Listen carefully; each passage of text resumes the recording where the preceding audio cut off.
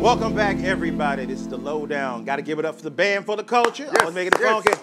Yes, yes. Now, Mike, I'm excited, man. We got a really special guest here Who today. you bro. got today, He's been seen on a few things. Uh, you may have seen today's guest on such hit shows as Blackish and HBO's Ballers. He can currently be seen on the show David Makes Man. Y'all give it up for my new friend, Shane Costa. All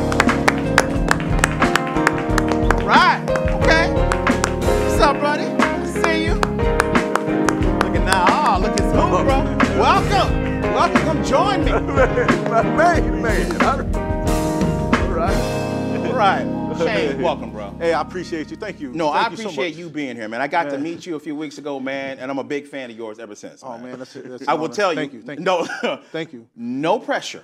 Okay. But you come highly recommended by somebody on this show. On this- on That's, what? on this one right here. Yeah, it's remember. Tight Mike Randolph, man. I found Oh. out that you guys used to run together back in the day. Yeah, yeah, yeah. I was a little slower, but yeah. Yeah, yeah, yeah, yeah, yeah, yeah, yeah, yeah. He's catching up, trust me.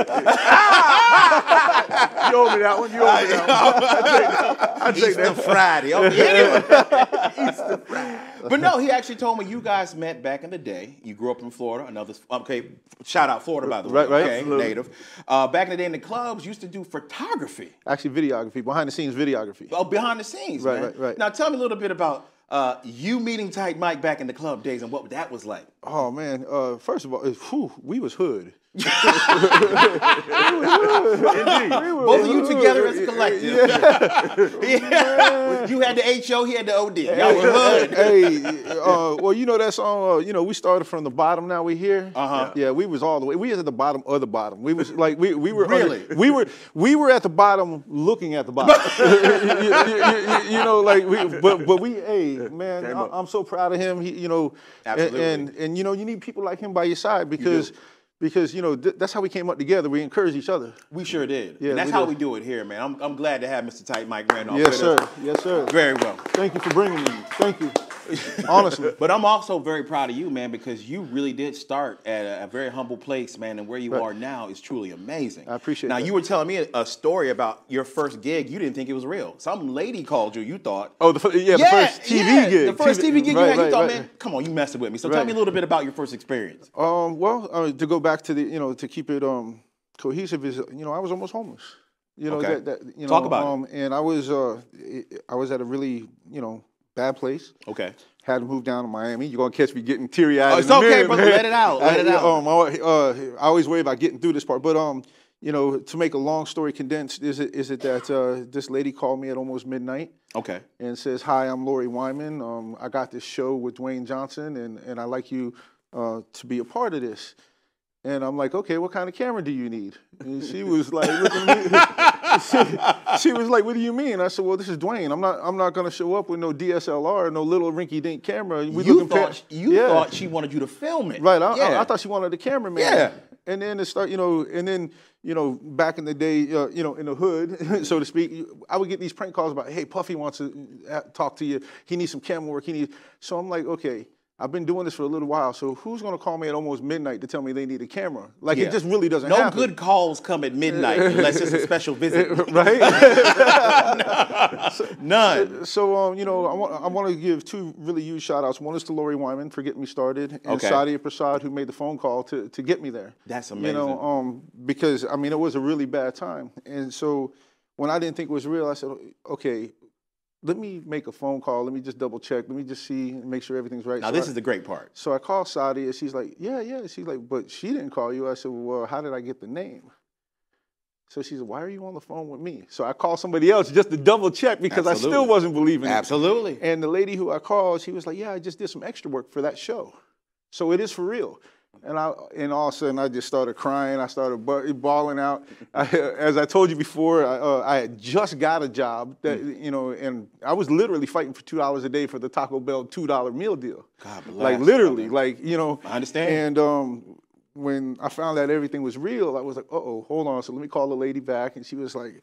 Okay, listen. I know you got camera work and whatever. If you can't do it, I got plenty more for you. And I said, "Ma'am," I said, "Excuse me. I, like I, I'm not ignorant. I, like I understand if you're telling me I have a chance to actually be in a show with Dwayne Yes. and, and I could actually be in the show and I'm faced to that's not coming again. Let me just do the right thing. I said, if I was your cameraman, I wouldn't leave you stranded. I said, just let me. And she goes, no, no, I completely understand. Went and did the audition on Monday. And before I even got back to the job, she said, look, I can't officially tell you, but just wait for the official. But you got, I was like, Bruh! you know, thank you. Thank you. And this is important. I want to say this, man. You you are a man that steps in faith. Yes. You definitely do. You told me a great story about how you were at a gas station, man. You had your last twenty dollars, if I'm not mistaken. 25. Twenty-five dollars. Please Right. tell me real quick so people can hear this. Okay. How, how why why why God is a real thing and Mm. He's always good. Please tell me the story. And keep in mind, at this time, I didn't believe in God. Really? I didn't believe. Uh, like, and, and I was just so fed up. I was losing my house. I knew the sticker was coming on my door that day. Eviction notice. You know, um, and I needed twelve hundred. I needed twelve. I needed twelve hundred that day, and didn't know how it was coming. Gotcha. And I had a homeless guy come up to me, and if you know about OBT and homeless people, they don't cry. They're already hard. They they they've already seen. They- you know, they have. And this guy was crying. He's like, man, just give me a few pennies to get started. Just I just need something to get started. Nobody's helping. I don't know what's going on. And I was like, whew, I got twenty five dollars in my pocket, and now I'm hearing a voice I never heard before. And he was like, give it all. I was like, and I was about to, and then I look at my gas tank, and I'm like. Oh, well, hold on. I need, I need gas money to get home. Yeah, yeah. I gotta get home. So, uh, you know, um, I'm now I'm having a, a fight with An this with this, fight. with this voice. yes. That So- you had never heard or paid attention to before. No, no, never, never, never wanted to, but never did. You know, Never- never listened. So, um, now I'm debating whether to give the five or the twenty, and I was like, okay, now here comes the real conversation, yelling in my head at a person that I never seen or heard before. You know, wanted to, but just. And I'm like, okay, so I finally made the decision to give the 20. And now I'm begging for forgiveness for somebody who I never even talked to. That's right. And I'll say, please forgive me, but I need the five dollars to get home. Yes. And I need, I need this twelve hundred. I said, I need to say, I'm not, I'm not trying to be greedy. I'm not trying to. I just need a, I need a place to stay. Just want a place to sleep. I just want a place to sleep. You know, I literally, and still to this day, and it's what keeps me grounded. I literally have visions of sleeping in the grass. Wow. That keeps me grounded. Mm-hmm. That keeps me driving. That keeps me working for everybody. Mm-hmm. Forgive me. No, no, please, no. And and you and the way you had told me the story was you told the, you told God, look, if I give this man my last twenty, if you out there, if you listening, if you really got me, then I need to find a way to pay that rent that day. Yeah. And you went home, and what what what happened? I had a check for nine hundred and a check for three hundred. Look at that. 1200. He don't always give you what you want, but he always gives you what you need. Bro, you yeah. can't beat that, man. That's yeah. amazing. Yeah, that is truly amazing. I, I literally rushed that those two checks over, and this is how bad it was. It was so bad that I wasn't even allowed to pay my mortgage they actually had to call headquarters and say, "Hey, if it's okay." Yeah, yeah, because it was already going. It was already in process. Wow. It was, our, you know. So, and the lady's like, "Why are you crying?" I said, "If you even understood how that How I money, got here." yeah, yeah, Bro. she was, yeah." So, Ladies and gentlemen, please stick with. us. We got to go to a short break, Shane. Okay, We're gonna be right back with the very talented Shane Costa Thank you. on the lowdown. Y'all don't go nowhere.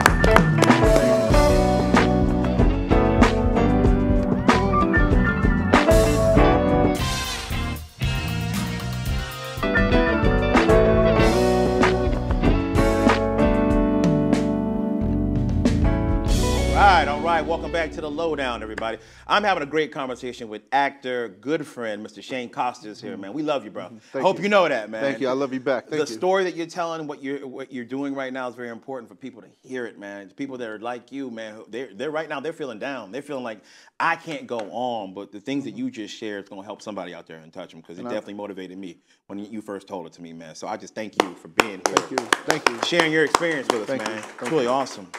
Now, your first acting gig on TV, you got to start off with Ballers. Right. Which is amazing, bro, because I'm a huge mm. Dwayne The Rock. I mean, I got a man crush on Dwayne. yes, I do.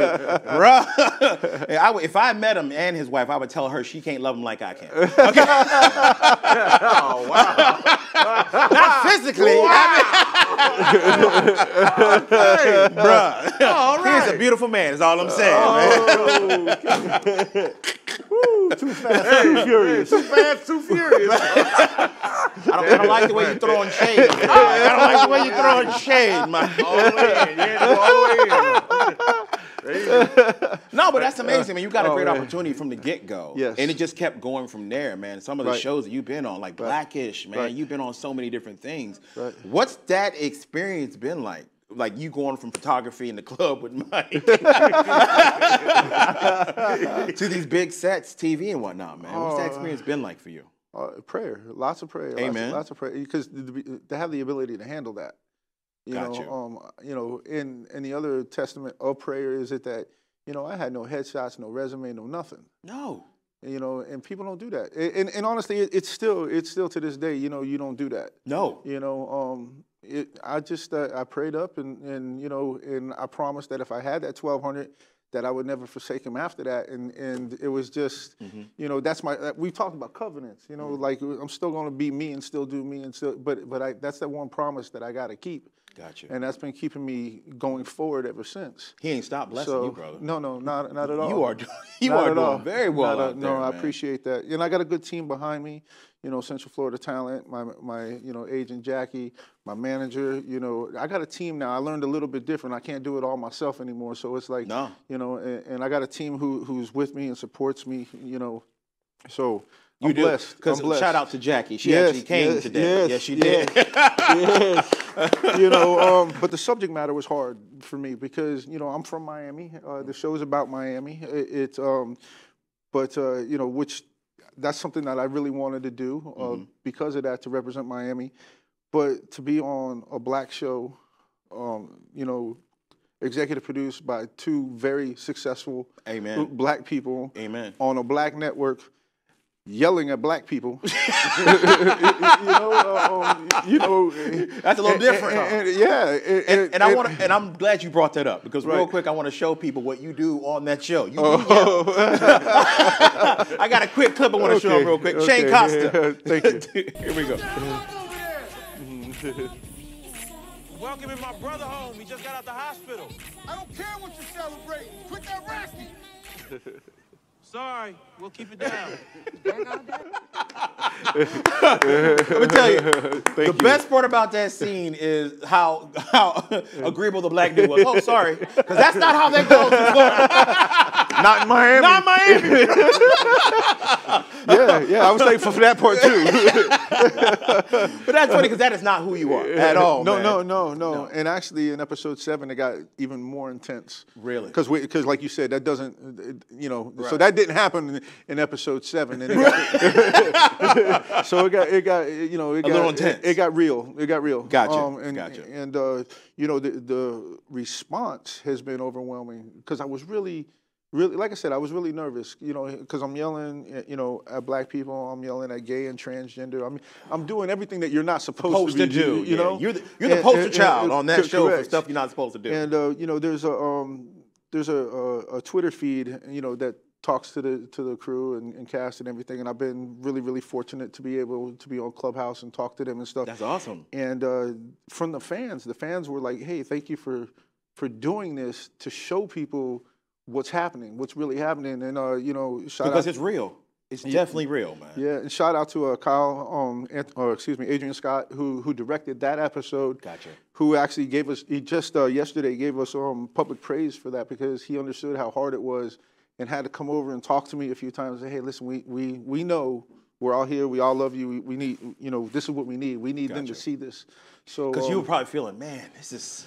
yeah, it's hard. I had to yell at a, at a you know at a young person and and yell at everybody who I don't want to be yelling at and, and you know coming across. Um, but uh, but everybody on that show, even today, I mean, I still talk to them through social media and stuff, and everybody's their love and support on that show all the way around. Cast, crew, everybody has been amazing. Gotcha. That's amazing, bro. Yeah, I'm, I'm really fortunate. And for you to play a character like that, look, it's not you. That's not who you represent, but it's important to be able to show that side so people see what we shouldn't be doing. Right. So I thank you for doing it. Thank you. Now, can you tell me any? I know you got a lot of secretive projects out there you're working on. You're like a mad scientist. Is there anything you can tell us that's coming up that we can we can know about? Um, I did. Uh, it's in post production now. Uh, the last movie with Tiny Lister, which is Debo. Wow. Um, and uh, that's uh, with uh, Mark Case. Uh, he's doing tons of films right now, so Mm-hmm. it's just And uh, I didn't get to meet Tiny, which which is uh, you know unfortunate. Absolutely. I hear so many wonderful. Th- you know, he's like a gentle giant. Everybody says he's so amazing. So I wish I could have done that. But just to be a part of that film is is pretty. And it's called In the MIA, which is uh you know it just God's been blessing me of just you know allowing me to represent where I wanted to be at in the first place. So it's it's pretty awesome. And I think everything has to do with timing.